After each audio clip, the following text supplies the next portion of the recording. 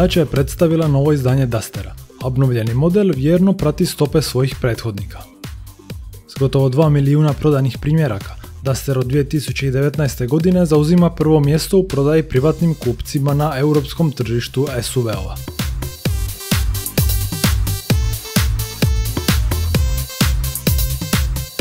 Novi Duster, predstavljen u narančastoj boji Arizona, diči se suvremenim dizajnom. Obnovljeni model krasit će i novi vizualni identitet kakav smo već mogli vidjeti na novom Sanderu, Sanderu Stepway i Loganu. Nova dnevna svjetla u obliku stola Y nadahnula su izgled nove kromirane maske hladnjaka s 3D uzorkom. Duster je prvi dačin model koji će biti opremljen LED pokazivačima smjera. Riječ je o tehnologiji koju koriste i prednja kratka svjetla i svjetla registarskih oznaka. Poboljšanja u dizajnu nisu samo estetska, već i funkcionalna. Dizajn novog stražnjeg spojlera i novih 16 i 17 inčnih aluminijskih naplataka testiranje u zračnim tunelima. Osim toga, u novom su modelu optimizirane emisije CO2, a rezultat je do 5,8 grama niže emisije CO2 u inačici s pogonom na sve kotače. Budući da niže emisije CO2 znači i nižu potrošnju goriva, Duster će dvostruko profitirati od poboljšanja u pogledu aerodinamičnosti.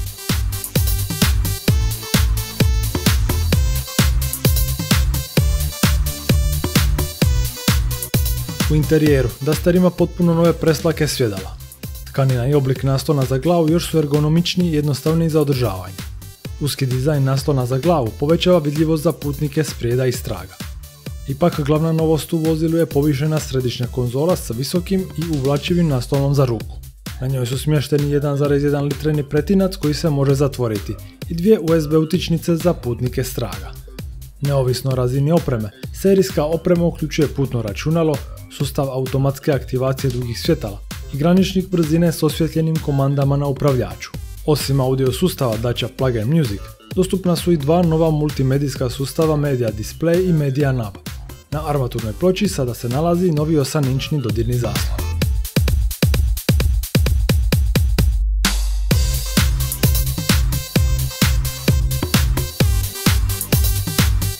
Inačica s pogonom na sve kotače, opremljena je sustavom 4x4 monitor. Budući da je kombiniran s multimedijskim sustavom, sve važne informacije sustava prikazuju se izravno na središnjem zaslonu u vozilo. Mjerač nagiba prikazuje vrijednost bočnog nagiba lijeve i desne strane vozila. Funkcija za kut nagiba koristi podatke sustava za pomoć pri kretanju na uzbrdici, a tu su također kompas i visinomjer.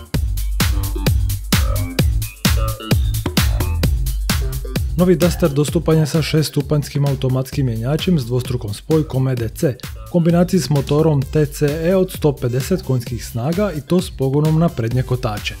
Inačica s pogonom na sve kotače dostupna je u kombinaciji sa 6-stupanjskim ručnim mjenjačem. Ostatak benzinskih verzija čine motori sa 90 i 130 konjskih snaga s pogonom na prednje kotače. U ponudi je i dalje benzinsko-plinska inačica naziva EcoG 100 čiji je obujam spremnika za plin povećan na 48,8 litara, što je povećanje od 50%. Dizelski motor u ponudi čini DCI od 115 konjskih snaga s pogonom na prednje ili na sve kotače, kombiniran sa 6 stupanjskim ručnim mjenjačem. Nova Dacia Duster na hrvatsko tržište dolazi u rujnu 2021. a početna cijena će biti 104.900 kuna.